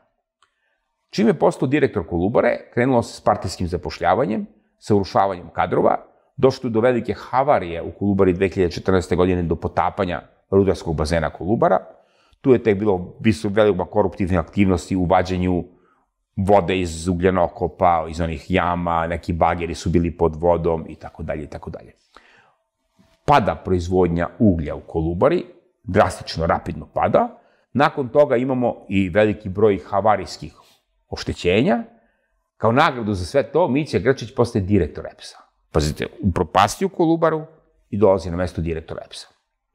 Kao direktor EPS-a, on, da bi gledalcima bilo jasnije, najjasnije šta se dešava, je odgovoran za nekoliko velikih havarijskih oštećenja. On je bager je izgoreo, pa se desilo uh, havarija u, u termoelektrani Obrenovac na bloku A i B, da su se kotlovi naložili blatom i muljem, pa je došlo do havarije. Samo da podsjetim da je reč o rekonstruisanim kapacitetima EPS-a, koji su plaćeni s nekoliko stotina miliona evra obnova i rekonstrukcija tih kapaciteta i njihova revitalizacija. Šteta koja je napravljena u Kolubari i termoelektrani Nikola Tesla u Brenovcu meri se milijardom i nešto stotina miliona evra, što je daleko više od onoga što je navodno ostvareno kao pod znakom navoda ušteda kada su otimane protivpravno i protivustavno penzije našim penzionerima. Taj iznos je negde oko 850 miliona evra.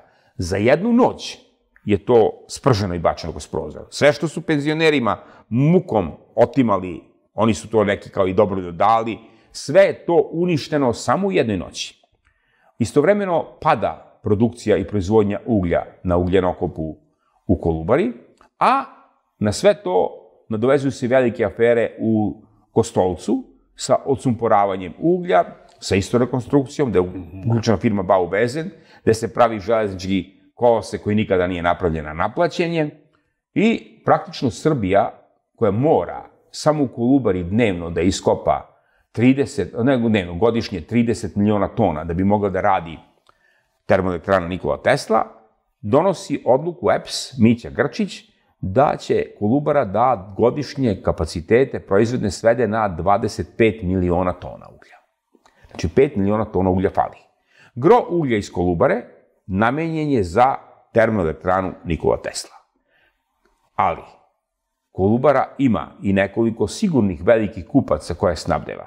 To su fabrika Michelin, to je fabrika Milan Blagović u Lučanima, to je fabrika Hartije u Beogradu na Adi Huji, to je i šećerana u, u Pećincima, to su i valjda Jafa, Crvenka i tako par tih velikih proizvođača koji koriste ugalj. I Elixir, firma koja proizvodi veštačko đubrivo. I od jedan puta Kolubara ima ugalj za njih, ali nema više uglja za, za te garantovane kupce, ali nema dovoljno uglja za termoelektranu Nikola Tesla. I šta se radi? Kad nečega nema, onda se pristupa uvozu. Gde je uvoz? Pa tu je i provizija. Koliko se uvozi? Pa nedostajuća količina. 5 miliona tona. Ljudi, znate šta je 5 miliona tona?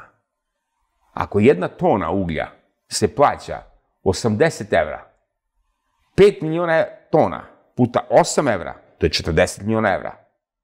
A puta 80 evra, to je 400 miliona evra. Zamisli sad, odjedan put se otvara mogućnost za posao neslučenih koruptivnih razmera u iznosu od 400 miliona evra. Svi naprednjački kapaciteti, mafijaški pre svega, koruptivni, se uključuju u taj posao. I umesto da Kolubara iskopava ugalj, da se unaprede proizvodni kapaciteti Kolubare, pristupa se uvoz uglja, da se pojača proizvodnja u Kostolcu, da se i površinski kop koji je otkriven u rudniku Sokol, kod Sokobanje koje Ana Brnabić otkriva, stavi u funkciju, stavi u pogon, da se nova eksploatacijona polja otkrivaju na jedan racionalan način u Kolubari, tamo se i dalje primenjuje nestručnost, neznanje javašluk i ugalj se uvozi. A ko uvozi ugalj? Pa uvozi recimo firma iz Semske Mitrovice koja se pojavlja kao financijer Srpske napredne stranke u izbornoj kampanji 2015. i 16. godine i 17. godine. I piše da li za troškove kampanje. Kako to moguće? Da vi sad uvozite ugalj. Uvozi se ugalj iz Indonezije. To je poseban skandal. Ugalj koji ima kalorijsku vrednost koja je daleko ispod kalorijske vrednosti uglja iz Kolubare. Termoelektrana Nikola Tesla je projektovana na kalorijsku snagu uglja iz Kolubare. Pravljeni su kapaciteti, tehnološki, tehnički, tehnički prijem je rađen. I ta toplotna moć tog uglja je potrebna da bi ta termoelektrana proizvodila struje koliko može da proizvede. I sada neko kreće da uvozi ugalj uz masne provizije. A na sve to još se uvozi i ugalj iz Bosne i Hercegovine, odnosno Republike Srpske, ali ne uvozi direktno EPS, ne uvozi direktno država Srbija. Mi se hvalimo nikad boljim odnosima sa Republikom Srpskom u istoriji. Mm -hmm. Gde EPS ima potpisan protokol o saradnji i sporazum o trgovini ugljem. Znači, ja kao radnik EPS-a ili direktor EPS-a odem u Republiku Srpsku i kažem, sad će mi date 100.000 tona. I dovezem 100.000 tona, 200.000 tona, 300.000 tona. Ne. EPS uzima možda par hiljada tona, a onda se pojavljaju posrednici u poslovanju. Ja sam na konferenciji iz novine navio imena i prezimena tih firma, firmi, količine, koliko je stiglo za iz Republike Srpske, koliko iz Bugarske, koliko iz Makedonije. Jedna firma je čak uvezla ugalj i iz rudarskog kopa Obilić. Tek je tu skandal. Jer Obilić u vlasništvu EPS-a jeste. Formalno pravno jeste. Faktički u vlasništvu je porodice, nećete verovati, Hašima Tačija pravi se vrlo brzo biznis. Nema problema što je to Kosovo i što je to Hašim Tači, što je to njegova familija. Za 2 miliona evra se uvozi ugalj. Dolazi čak i do carinskog rata između centralne Srbije i lažne države Kosovo, Hašim Tači uvozi. Fakturiše lepo, sve to funkcioniše, plaćanje ide, sve to lepo funkcioniše. A onda Albin Kurti pita, mi dajemo ugalj Srbiji, kako je to moguće? I kreće tu diplomatski pritisak da samo Makedonija i Kosovo mogu da se snabdevaju ugljem iz Obilića, ali ne i Srbija, centralna. I, naravno, to se vrlo brzo zataškava. To vrlo brzo izlazi izvan fokusa javnosti. Problem za vlast je što u policiji, u bezbednostnom sektoru, u upravi kliničke policije, pa čak i u službi za borbu protiv organizovanog kriminala i bezbednostnoj informativnoj agenciji, i vojnoj kontraobaveštenoj službi, i, pa i vojnoj obavešnoj službi, ima častnih, odgovornih profesionalaca, koji kažu mi smo zakletvu položili nad Ustavom Republike Srbije, a ne nad partijskom knjižicom bilo koje stranke.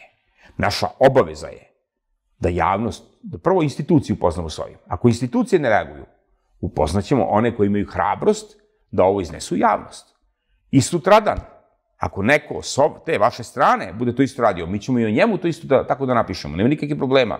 Mi čuvamo, mi smo čuvari države. I zato smo se zavetovali nad Ustavom Republike Srbije, a ne čuvari režima i vlasti.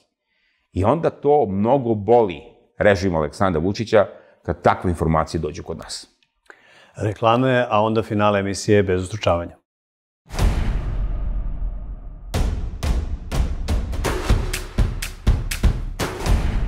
Bez ustručavanja.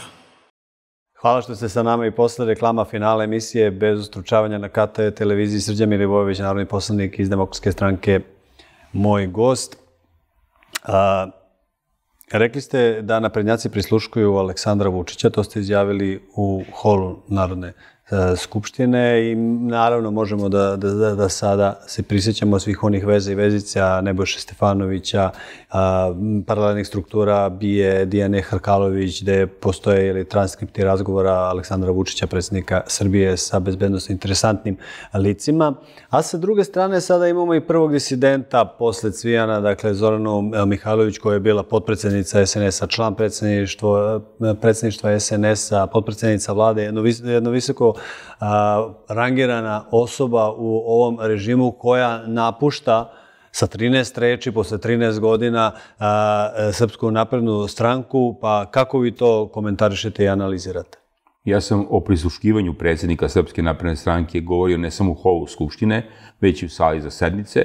Na prošloj skupštinskoj sednici imali smo zakon o elektronskim komunikacijama na dnevnom redu i ja sam kazao da postoje neoborivi dokazi da je vrh Srpske napredne stranke prisluškivao svog predsednika. To je tvrdila Dijana Hrkalović za Rabišu Stefanovića, to je govorio Aleksandar Vulin da je bilo 1882 prisluškivana razgovora sa 26 bezbednostno interesantnih osoba. To je kazao sam Aleksandar Vučić, rekavši da je kod njega došao jedan častan i čestit policajac i doneo mu je transkripte slušanih razgovora i snimke slušanih razgovora, pa sam ja pitao kako je moguće da taj častan policajac to donosi Aleksandru Vučiću, koji je poznat kao čovjek koji je izgubio snimak sa naplatne rampe u Doljevcu onih dva minuta, a samo donosi 1882 snimana razgovora. I onda sam kazao da je to radio Miroslav Grčić, Milorad Grčić, koji je kao direktor EPS-a imao prislušni centar za prisluškivanje telefonskih razgovora na Čukarici, u posebnom opremljenom centru EPS-a. Na kraju, kada govorimo o Zorani Mihajlović, ona je pre nego što je se sa 13 reči oprostilo 13 godina duge kar, političke karijere u Srpskoj naprednoj stranci, dala jednu izjavu koja je mnogo ozbiljnija i ima mnogo veću težinu, a to je izjavila kada je napuštala poziciju ministra, kada je bila svesna više neće biti ministar, kazala je Srpska napredna stranka je postala džuboks za bogaćenje i bahaćenje pojedinaca iz redova Srpske napredne stranke. Kada govorimo o političkoj sudbini Aleksandra Vučića, Evo, tu smo vi i ja, već je maj mesec. Za 25, 4 dana bi trebalo da je 27. maj kada je zakazana Skupština Srpske napredne stranke. Evo da se kladimo vi i ja. Da će Aleksandar Vučić, kao i Miloš Obrenović, 1800, ne budem došli reći, mislim 33. da podnese na Narodnoj skupštini u, u Kragujevcu ostavku i da će mandat da vrati narodu kao i Koštunica 2007. godine, što je 2008 i da će članstvo Srpske napredne stranke da se ubije plačući i trčeći za njim, nemoj kneže ko Boga te molim, sada pa ćemo mi ako ti podneseš ostavku. I da će on kaže, eto ja sam podneo, ali stranka mi nije pustila, pa vidite spotovi sad kad krenu da se preve. Da bi se ispegla... Billboardi podrške. Da, da bi se ispeglale sve ove situacije koje ih imao. Vidjet ćete prvo Orlić, pa Nevena Đurić, mm -hmm. pa Milenko Jovanov. Da, kud, e, čemu cirkus? Pa cirkus je, znači, da ispadne sad da oni njega mole, nemoj predsjedništvo. Ali on je već najavio formiranje uh, pokreta, on se pozicionira u ovoj predizbornoj uh, godini. Ne samo, nije samo uh, ta tema sudbina Aleksandra Vučića, već sudbina i Srpske napredne stranke. Pa naravno, ali šta je problem? Svi oni znaju da egzistiraju tu gde jesu samo i isključivo zahvaljujući Aleksandru Vučiću.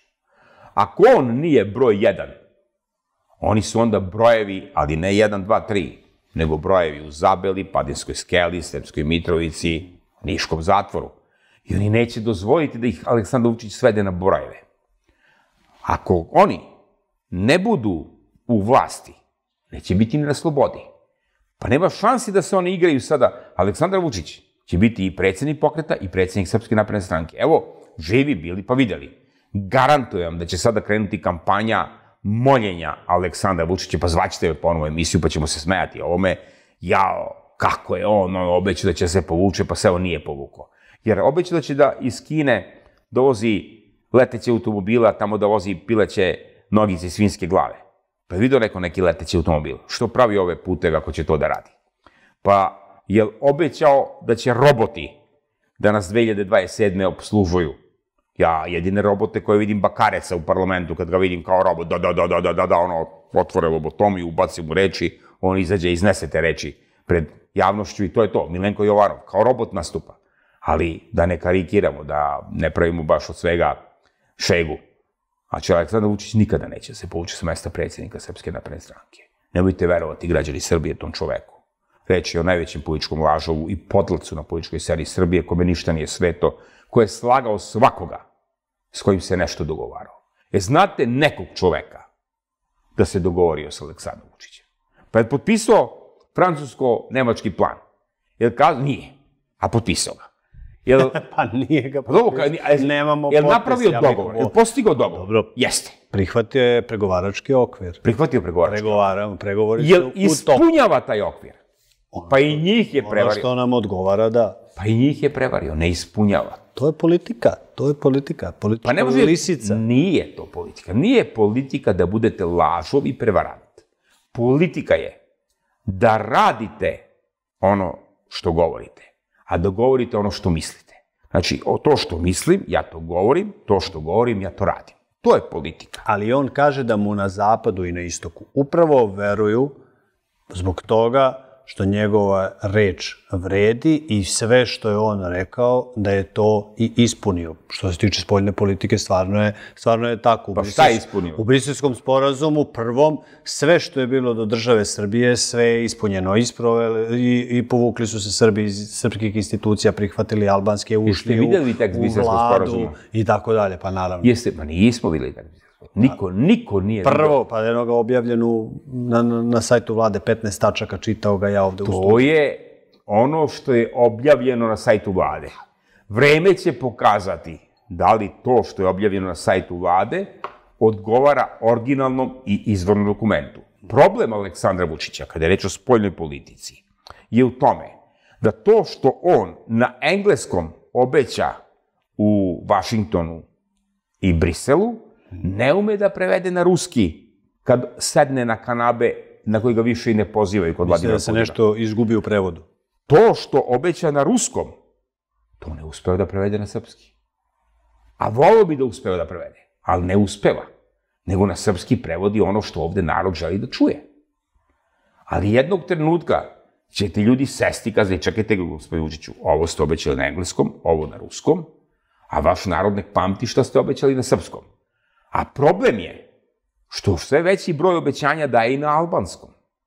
Pa ne samo na albanskom, nego i na veliko albanskom. A to je posebno opasno po Srbiju. Verujte, ovde se zarađalom kašikom. Zlobni ste, zlobni ste do kraja. ovde se zarađalom kašikom, koja je bila moto njegove politike. Čerupaju najsjajnija pera iz belog krstonosnog orla sa našeg grba. I taj se beli oro na delu teritorije Srbije pretvara u crnog orla, koji tako zloslutno je poleteo, da će gnezdo da svije ako se nastavi politika Aleksandra Vučića. Ne u Nišu, ne u Kruševcu, nego će, boga mi, da doleti mnogo dublje u Šumadiju. Jer ako se nastavi ovakva politika ustupaka od strane Aleksandra Vučića i ovakvo negiranje interesa Republike Srbije, naših nacionalnih interesa, ako on, Aleksandar Vučić, mene i vas, posle sto i kusur godina ubeđuje da na Ceru i Kolubari nisu pobedili Stepa i Mišić, nego Počorek i njegov deda Jova, tu postoji neki problem. Ako nije moj deda Božidar, zajedno sa dvojicom svojih braće, poneo najsjajnija odličija, zajedno sa onih devet koji su postradali, onda su oni mene džabe učili da su oni pobedili i na Ceru, i na Kolubari, i na Kajmakčlanu, pa i na Bregalnici u prvom ratu i na Ovčem polju, na Bregalnici u drugom ratu i na Ovčem polju u prvom Balkanskom ratu. Ali ja ne mogu da prihvatim ovu novu istoriju. Prihvatate li izjavu Aleksandra Vučića, predsednika Srbije, predsednika SNS-a, koji kaže ostalo mi je četiri godine mandata, posle toga se povlače? Koliko je njemu ostalo godina mandata, odlučit će razvoj političkih događaja, a ne Aleksandar Vučić. Ja ne želim da uopšte licitiram koliko mu je godina mandata. Verujete u njegov kontrolisani ili nekontrolisani odlazak? Ne, Aleksandar Vučić nikada neće predati vlast. Nikada. Ne postoji način na koji je mafija bilo gde na svetu predala vlast, pa će onda se probudi jednog dana i kaže, e, dosta sam ovo radio ovom narodu, uh, bre, šta sam, e, pa isterao sam, što bi rekao naš narod, kera za sve pare. Pa sve što mi je palo na pamet, ja sam ovom narodu uradio i vreme je da se Jeste gledali film Kum? Pa kakav? A jeste, on, znači, i on je gledao film Kum, to mu je jedan od najomiljenijih, a i meni je na, jedan od najomiljenijih kumova. Znači, u trećem delu filmova, u trećem delu, a, glavni lik je Michael Corleone, jeli, predaje Andy Garcia, zaboravio se kako se zove, i kaže, ne mogu više, umoran sam, od sada si ti kum. Dakle, ne mora da Aleksandar Vučić sada ovaj, nekontrolisan ode, ka vi ćete ga ovaj, slušati, prvom- nego može da nađe nekog svog Jel u prvom delu Vito Corleone predao posao Michael Corleone? Pa nije.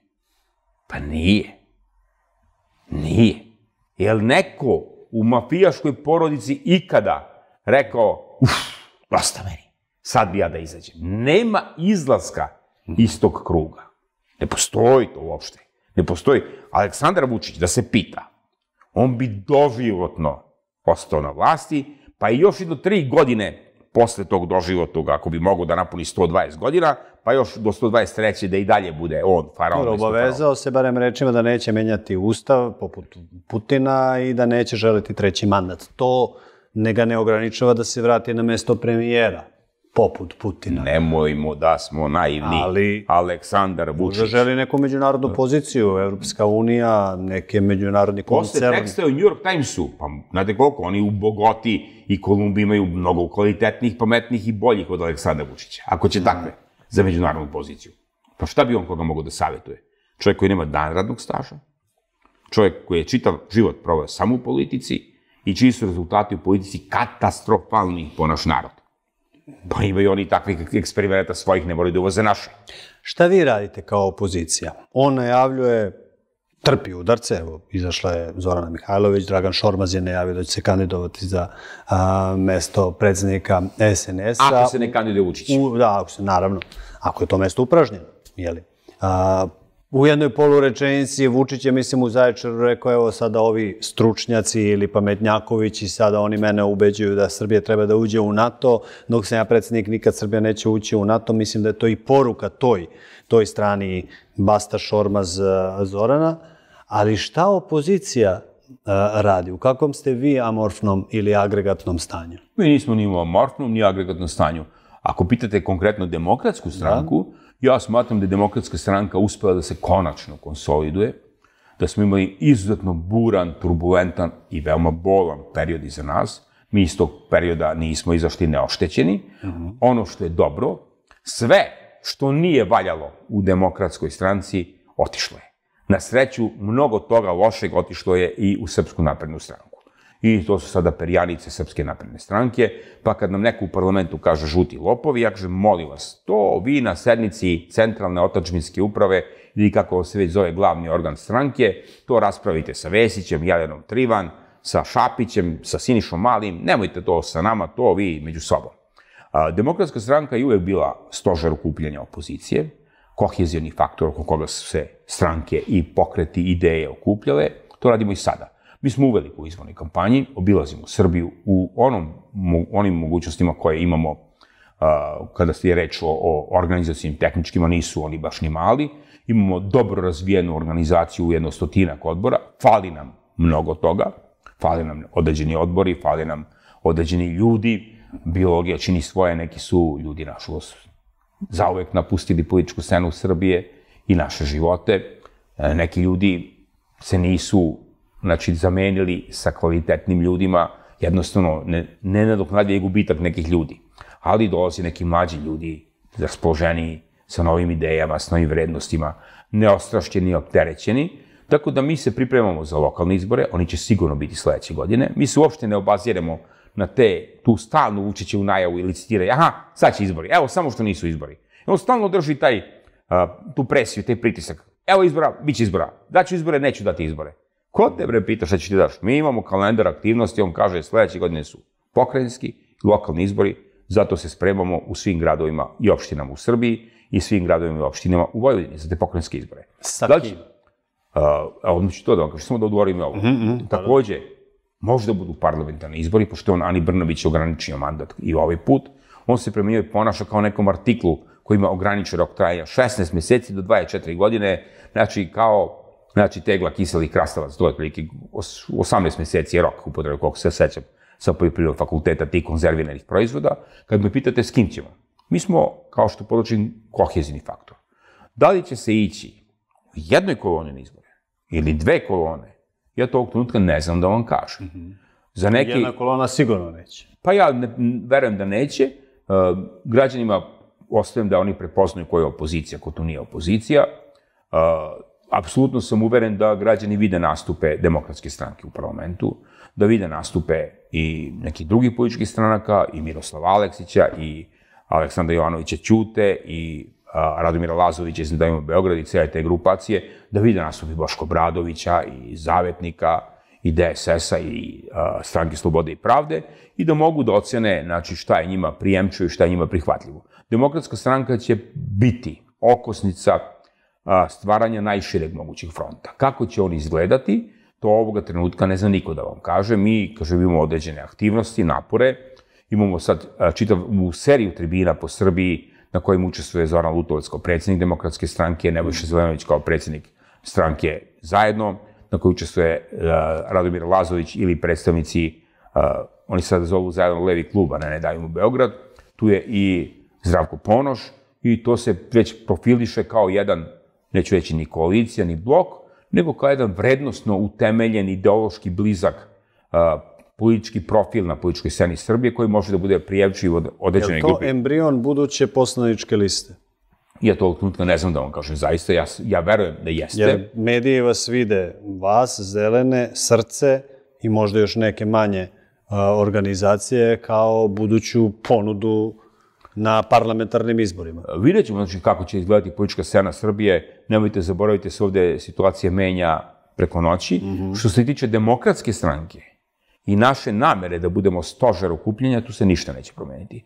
Što se tiče naše pružene ruke svima, tu se ništa neće promeniti. Naša će ruka biti širom otvorena i pružena svima koji misle da mogu zajedno sa nama ideološki, vrednostno i na kraju krajeva koji shvataju kolika je opasnost od Srpske napredne stranke. Jer sa naše strane se mnogo toga nameće kao okvir. Ne možete s ovim, morate s onim, hoćemo nova lica, hoćemo staro lica.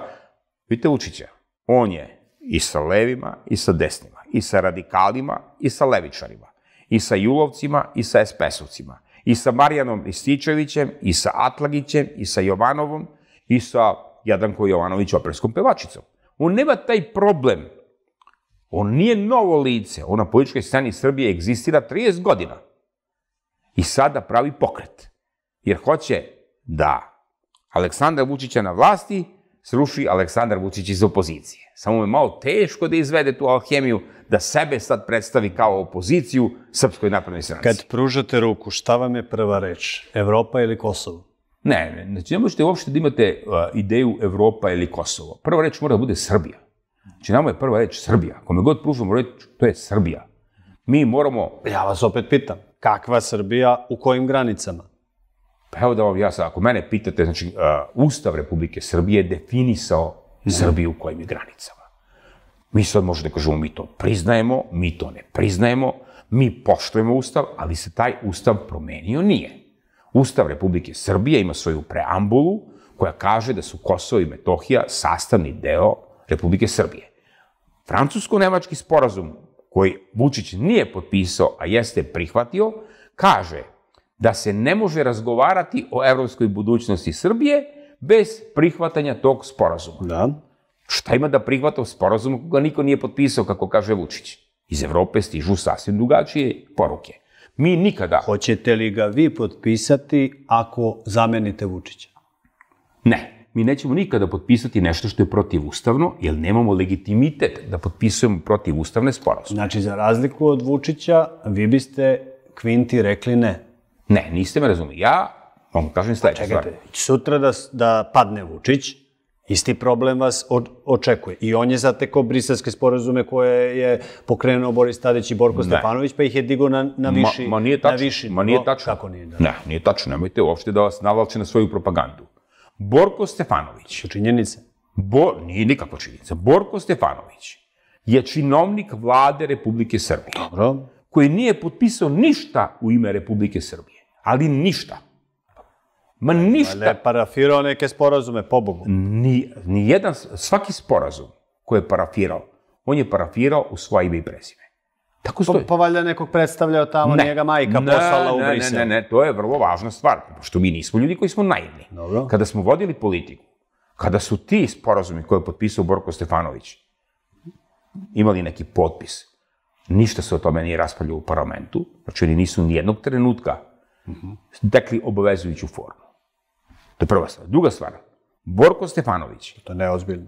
pa ozbiljno ili neozbiljno, ali oni, ali oni nisu prošli u parlamentu. Nikada. Ono su se primenjivali. Neki da, neki ne. Lične ka... Pa to Vu- Vučić može da kaže. Ne, neki Ovo da. je, ne, ovo je, i Borelj kaže, ovo je politička, Nažal- politička na- obaveza Srbije, Vučić može da kaže, Nažal- pa nešto primenjujemo, nešto ne. Radi nažal- isto na- ono na- što i vi. Nažalost ne. Nažalost ne. Aleksandar Vučić sve što je potpisao na štetu Srbije, sve je primenio. I ukino je sudove, i ukino je institucije Republike Srbije, i lične karte, i vozačke dozvole, ali sve, čak je prihvatio i ono što nije potpisao. Dobro, ja vas postavljam u poziciju Aleksandra Vučića posle njegovog pada. Dočekuje vas ovaj plan koji u sebi ima i poglavlje 35 i takođe komisiju koja analizira implementaciju ovog plana i ocenjuje ga i direktno dovodi u vezu sa, sa srpskim evrointegracijama. Vi kažete ne ovom planu Ne. ili kažete da ovom planu. Ja kažem, ja nemam ustavnu mogućnost da tako nešto potpišem. Promenite ustav. Onda moramo da idemo na referendum. Ne mogu ja da idem, znači da potpišem Evo nešto. vam inicijativa Narodne stranke. Neka narodna stranka, znači ovoga trenutka, raspisati referendum ovoga trenutka da vam kažem, meni može ta ideja da bude bliska ili ne. Dobro, jest, je li je? A, pa evo da vam kažem, meni ovoga, ovoga trenutka šta mi je pro- problem za realizaciju te ideje? Setite se kako je izgledao referendum pred NATO bombardovanje. Pitanje koje je postavila vlast. Dobro. Je vlast pitala, e, hoćete da vas bombarduju raketama pete generacije i da vam zemlju razore tako da ne može se podignuti iz pepela nikada? Ili su zavukli pitanje da li ste za prisustvo međunarodnih trupa u rešavanju kosovskog Ne, da problema? strano mešanje u rešavanju Čekaj. pitanja Kosova i Metohije? Tu niko nije Februar pitao. 98, je li tako? Tako je. 98% ljudi reklo nije. Ali da su izašli s pitanjem i rekli, izvinite, da li ste, pošto vlast nije sposobna da reši kosovsko-metohijski problem, da li ste zato da vas okupiraju ili ste zato dođu hiljadu posmatrača? Pa nek dođe hiljadu posmatrača. Pa bolje hiljadu posmatrača nego 60.000 NATO trupa. E, znači ovdje mora da se prvo izbalansira I to pitanje. posle bombardovanja. A, naravno, posle kumulovske kapitulacije. Dakle, ovde moramo da izbalansiramo pitanje. Ne možemo mi da postavimo pitanje, ej, kako bi meni ćefne da ja postavim pitanje? I da kontrolišem referendum. Ko će da učestvuje u referendumu? Kako će da se taj referendum odvija? Ko će da glasa na njemu? To su sve pitanja koje su vrlo važna. Setite se da je referendum o promeni Ustava, kada je reč o pravosudnim zakonima, bio i protivustavan i protivzakonit, jer je sproveden na delu teritorije Srbije bez Kosova i Metohije. On kaže, pa dolazi su ljudi s Kosova i Metohije da glasaju. Koliko ih je glasalo? Koliko ih je sada upisano u birački spisak za izbor na severu Kosova? 45.000. Pa izvini, molim te, gde je, šta je sa Srbima iz Raniluga, Prilužija, To Velike Znači Hoće? da smo osuđeni na ovaj ustav da nikad ne bude promenjen Mhm. ako ćemo to logiko da idemo, jer Albanci nikada više neće dozvoliti To da... neće, što neće dozvoliti? Pa jednostavno, mislim, a, mogu A da što, dozvole... Da što, do... ne, što pođe toga? Recimo, šta ako oni procene u njihovom interesu da dozvole da se ustavi, da drži referendum dole, na Kosovo i Metohiji? Što mi sad prejudiciramo šta će Albanci da rade? Možda ni kažu, e, možda će Srbi na referendumu. Pa, logika događaja nas upućuje na ovaj zaključak. Ne. Možda će dozvoliti da a, Srbi glasaju na parlamentarnim izborima, jer Srbi glasaju u Berlinu, Njujorku, Čikagu. Hajde, to možda ne ugrožava njihovu državnost, ali referendum je ipak stvar države, stvar a, pitanja Pa i- suvereniteta. I, i, da, i, I o referendumu su glasali Srbi u Njujorku, Parizu isto. Isto su za referendum imali pravo glasa. U stranim državama. Ne samo za izbore. Ne bih ja to tako postavljao. Ja bih to postavio ovako. Mi ne možemo da rešavamo pitanje Kosova i Metohije sa Aleksandrom Vučićem vlasti. To je nemoguće. Znači, ajde prvo mi da završimo priču oko demokratizacije i pune slobode ove zemlje, medijskih sloboda, a onda neka se nove političke garniture dogovaraju oko gorućih pitanja. Ako mi pitanje Kosova i Metohije nametnemo da je važnije od pitanja sudbine ove zemlje, mi ništa nismo radili. To vam je Savez za Srbiju. Pa nije Savez za Srbiju. Ajde mi, Pa sve političke, ja, ja, ovo što vi govorite, ne vidim da bi rekao ne ni Boško Obradović, ne bi rekao ni Miloš Jovanović, ne bi rekao ni Vuk Jeremić. ajde da se, ajde da se dogovorimo mi, prvo, da ovo zlo smenimo. A onda ćemo vidjeti da li ćemo na referendumu rešavati pitanje sudbine Srbije i budućnosti Srbije ili ćemo to rešavati na ovaj način ili onaj način. I ajde da vidimo ko će doneti većinu na tim izborima. Crnogorski model ili srpski model? Gubili Vučić na parlamentarnim izborima ili na predsjedničkim izborima? Ja mislim da će on vlast izgubiti mnogo pre i predsjedničkih i parlamentarnih izbora. To je moje lično mišljenje. Ja mislim da je situacija neodrživa u Srbiji. Sa ovakvom količinom tenzija, sa ovakvom količinom upletenosti u organizovani kriminal, sa ovakvom pre, prepunjenošću znači, tog bureta baruta, mislim da Aleksandar Vučić je sve dalji od rešavanja političke krize kroz institucionalne okvire. Puno vam hvala na ovom razgovoru. Hvala vam. Hvala vama, poštovani gledalci, na pažnji. Ostanite uz KTV televiziju.